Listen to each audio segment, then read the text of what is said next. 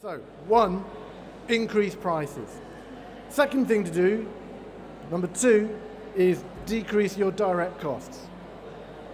Deal that says uh, profit is the difference between what you pay for something and what you sell for it. That's all there is. So if you want to increase your profit, there's only two things that you can do. Put up your prices, decrease your direct costs. It's as simple as that. And what you need to do is you need to just go through your cost base, look at every cost that you pay. You need to go back to those people and you need to ask them, quite simply, is that the best price you can do? And you'll find that in nine times out of ten, people will be able to lower their prices for you. And if that's what they wish to do, if that's their business model, you let them do it. But you need to be really tough and really tight on, on, on your direct costs. So, one, put up your prices. Two, decrease your direct costs. Three, sort your underperformers. Okay, this is all about fixing that financial model. You have underperforming clients. You have clients who don't understand the value they can get from you. They don't get what you do. They don't understand you need to try and educate them, and if you can't educate them in a way that's effective, you need to sack them. You have underperforming products. You have products and services that just don't deliver, that just don't work. If you have underperforming products and services, what you need to do is you need to try and sort them out, and if you can't sort them out, you sack them. You have underperforming suppliers, suppliers who just, and you know who those suppliers are, and you've asked them a dozen times, but they won't give you the service, they won't give you the product that you want. You need to try and educate them. If you do not supply to me in the way that I want, we're going to go to somewhere else. If they don't do that, then you need to sack them. And finally, you have underperforming staff. And there's no pretty way about this one. If you have underperforming staff, you try and educate them. If you can't educate them, you sack them. And the interesting thing about all these things is this is all your fault. It's no one else's fault. You get the staff you deserve because you employed them and you trained them up and if they behave in a certain way, it's. You get the clients you deserve because of how you buy and how you sell. So there's a real piece about why would you have underperforming clients, products, suppliers, or staff? It's all about how you've managed it. And, and the whole piece is about you taking control rather than letting other people take control. So, one, put up prices, two, decrease direct costs, three, sort your underperformers. When you've done that, then you've sorted out your financial model.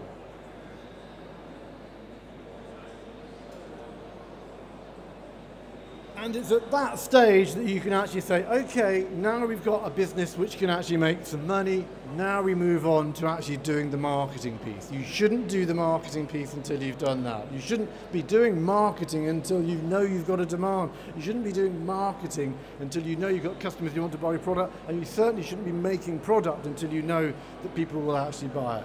So, one, put up prices. Two, decrease direct cost. Three, sort your underperformers. And to my mind, if you want to put some numbers next to it, put your prices up by 5%. Decrease your direct costs by 5%. Sort your underperforming clients. Sack 5% of your customers. Get rid of 5% of the product. Get rid of 5% of your suppliers and probably get rid of 5% of your staff. And you'll find that the, the combination of those three 5% turns the business from really struggling to actually having some kind of energy level where it can actually be a proper business which actually makes money, which is something you're proud of, which is something that's worth having people working. And only at that stage do you go out to the marketing, which is the number four piece, which is be remarkable. Be remarkable means worthy of remark. It means that you have a, a product or a service that people talk about. There's no point having a Me Too product or service just like everyone else is because people won't remember who you are. They're not going to buy from you if they don't know that. So it's actually about having a product or service which is remarkable. And it can be remarkable because it's it's it's the fastest, it can be remarkable because it's the best, it can be remarkable because it's payment by results, it can be remarkable because of the friendly service. But if you're the same as the competition, I can't think of a single reason why people should bother to buy from you. So the big question the simple question for me is this, which is why should people bother to buy from you when they can buy from the competition? That's it. I mean, that is, that is the question. And what I'm going to do is I've, I've now got all your mobile phone numbers, I've clicked them in, and I'm going to phone you up at four o'clock in the morning, and I'm going to say, hey, why should I buy from you when I can buy from the competition? And if you can't give me a really clear, succinct answer in 10 seconds, then I'm going to put the phone down, I'm going to wait 10 minutes, and then I'm going to phone you again. And we're going to do it until you get it right. Because if you can't explain why people should buy from you, then I can tell you that your staff won't know why people should buy from you. And if your staff don't know why people should buy from you, then I can tell you that your customers don't know why they should be buying from you. So this why should people bother to buy from you thing is absolutely crucial question. Second question, so why should people bother to buy from you? Second question is why can't you sell more stuff? Why can't you sell more stuff? And why can't you sell more stuff? The answer to that is really pretty straightforward. I think it's pretty straightforward, the answer to this question. Uh, really, there's a huge, great elephant in the room for most of us in our businesses, and the elephant in the room is that our business is the same as everyone else's. You employ similar people with similar qualifications on similar pay rates using similar software and similar hardware to sell similar products to similar people at similar price points on similar websites at similar prices to these similar people in similar ways. And it, everything out there is so incredibly bland and beige and dull that the only thing that the customer can do is buy the cheapest because everything else looks the same. So they end up either buying the shiniest or they buy the cheapest, neither of which you want, which is why you need to be different. You need to stand out, you need to be remarkable. So the question is, how do you do that? Well, a couple of thought bubbles, really. First thing is that it's not about advertising, all that stuff going on over there, okay? Yeah? Three quarters of, 76% of consumers do not believe that companies tell the truth in advertising, okay? Stats, facts, New York, three quarters of people do not believe that what they're told by companies is the truth. So when we go to all these companies and we see their pretty banners we actually don't believe that they're the best and the greatest and the best, most fun. Because we know they've written that stuff themselves, just like we do it ourselves. What's interesting is nearly 80% of people trust the recommendations of other people. So if you're going to grow your business, the way you do that is you do it word of mouth, you do it by delivering awesome service, you do it by getting people to talk about you, and you finding ways and methods that people can talk about you. That way, you actually have something that's actually worthwhile, something that's actually going to happen to happen. And then you can actually start answering the question, why should people bother to buy from me when they can buy from the competition? And the other question, which is, what makes you different from the rest? And you need to be able to answer those questions. In essence, the, the, the four things I'm talking about today are not a four things piece, because I don't believe that these four things, if you go away and do it, will make the difference that makes the difference. These are the quick fixes. If you want quick fixes, just go back, put your prices up, screw your supplier's feet to the ground, sack some people, and sort out your marketing. But actually, if you actually want to do it and you're actually serious about doing it, it's not about quick fix, it's about long-term fix. It's actually about stepping back and understanding what's actually going on in your business. And actually, I think it's actually about you sitting down in a really quiet manner and asking yourself, what is, what is the truth? What is the truth about you and your business? Really, just how good? Just how good is your business? Really, just how badly do you want it? Really, you know, do you believe all this bollocks which is talked here about? Be passionate about my business. I'm an entrepreneur. I'm gonna, you know, if you really believe that stuff, then go for it. But the reality, you know, and, and you know, David here called it, is it's bloody hard work. A few great ideas, bloody hard work. If you really believe it, have you got what it takes? Has your product got what it takes? Has the service got what it takes? Have you got the ability to become a managing director? So, what is the truth about you? More importantly, what is the truth about your competition? just be absolutely honest with yourself. How good is the competition? What is it that, the competition is selling? Why are people buying from the competition when they could be buying from you? What is it that makes them go there and not go there? You need to be absolutely ruthless about what, how good the competition is and why people buy from the competition. And then finally, you need to be the third ruthlessness about truth, is the truth about your customer. And the truth about your customer is not something that comes out on some customer survey.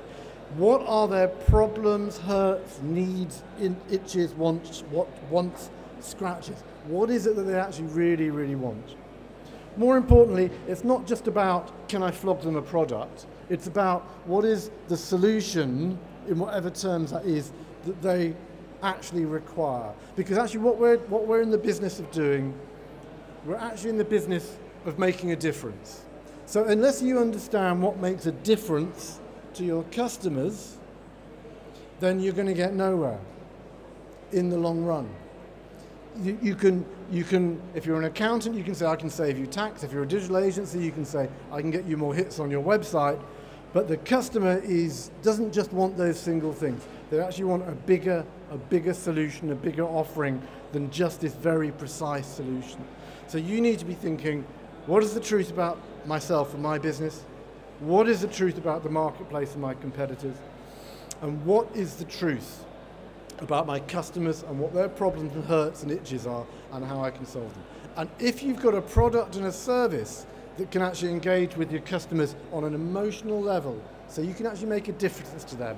Then they buy into you, then they become brand advocates, then the word of mouth thing happens. So is this hippie shit? No, it's not. This stuff actually works. Evidence is there to support it. This is not about making firework businesses that you can sell for 10 million in a year's time. It's about growing a business 3% and 5% year on year, creating sustainable growth, something that can actually give you the business that you actually want to do. So, in conclusion, I'm going to stay around. If you want to ask questions, please do. If you want to buy books from me, please do. In conclusion, a couple of thoughts really. The problem's not that we aim too high and fail. The problem is that we aim too low and succeed. We get conned into believing we can do all kinds of stuff and it's, it's kind of like uh, dieting. We, we, we buy the next diet which we think is going to solve our problem. We go after the silver bullet. Oh, someone can double my profits in 10 days. I'm going to go for it. Give me my money. We know that in dieting is actually about, we know what to do with dieting. You've got to eat less and exercise more. Yeah? We know with businesses, you've got to find a way of blowing away clients and sell to them and sell more. It's exactly the same model. But you've got to understand how to do it. One of the problems that we have is, that, is that as business owners, we aren't accountable to anyone. We just do what we want, and we change the rules whenever we want. So one of the you know, pieces of advice from me is go and get yourself someone who you are accountable to, a coach, a mentor, your accountant. I don't care who it is, but on a week by week basis, you tell them what you're going to do, and on a week by week basis, they come back to you and said, You said you were going to do it, did you do it? You said you were going to do it. The trouble is, we are accountable to no one because we're entrepreneurs and we can change our minds when we feel like it. And that's no way of, of hitting a plan, that's no way of making it happen. So, what is the message? Message one is stop procrastinating. It's all about speed, it's all about doing stuff as quickly, as quickly, as fast as you can possibly do it. Two, it's about making, it's about making the tough decisions, okay? Uh, there's, I don't know who read this book who said that running a business is easy. It is actually about making tough decisions. It is actually about telling customers who you like you no longer want to work with them. It's actually about telling staff who don't work that you no longer want them to work with you. Running a business is, making, is about making tough decisions it's painted very nicely on television, but the reality is it's about making tough decisions and it's about taking massive, massive action. Thirdly, it's about doing stuff not in a sequential basis. First, I'll put my prices up, then I'll reduce my costs, then I'll sort my underperformers, then I'll do my. It's not about doing it step by step in a nice, graceful manner. It's actually about doing stuff simultaneously. It's actually about doing it virtually all together so you can see what happens when you make this stuff happen. It's actually about taking massive action and doing it a lot. And finally, a question about DIY. Can you do it alone? I would argue DIY is the most dreadful way of trying to grow a business. If you want to know about DIY, come and look at the shelves in my garage you'll understand why I don't believe big time in DIY. And finally, has anyone got a five pound note I can borrow? I need a five pound note. See whether you're listening. Anyone got a five pound note? Five pound note. I need a five pound note.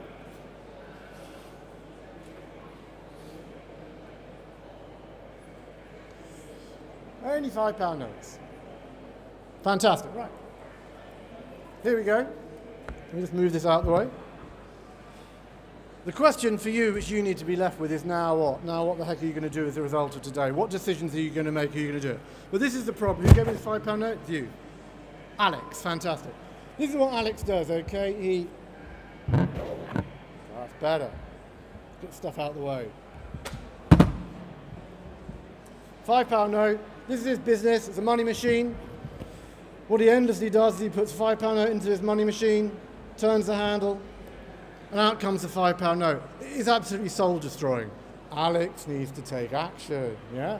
So that when he takes his five pound note in, listen to my wonderful words. He says, I'm going to do it. I'm going to buy a book. I'm going to take those four things. I'm going to get a custom. I'm going to get myself a coat. I'm going to get my, I'm going to make it happen. He takes a five pound note. He puts the five pound note into his money machine and still he gets a five pound note out. Why? Because it's not just saying, I want to do it, I want to pay for someone to help me.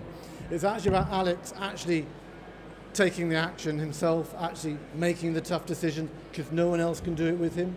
Because then, when he does it, when he puts the five pound note in the money machine, whoops, everything's falling apart. Out comes a 10 pound note. And of course, once he's got a £10 note out, he can put a £10 note in, and out comes a £20 note. Alex is getting excited. And of course, now he's got a proper business, things start getting more efficient. So that when he puts a £20 note in, out comes a £50 note. So that's, these are for sale, but no. So that's what we're about, really. Uh, Alex, thank you very much for the £5 note. I'll give you that back now. My name's Robert Craven. If you want to talk to me more, that would be fantastic. If you want copies of the Grow Your Service Firm or Bright Marketing book, that's fantastic. You've been a lovely audience. Thank you very much indeed. Thank you.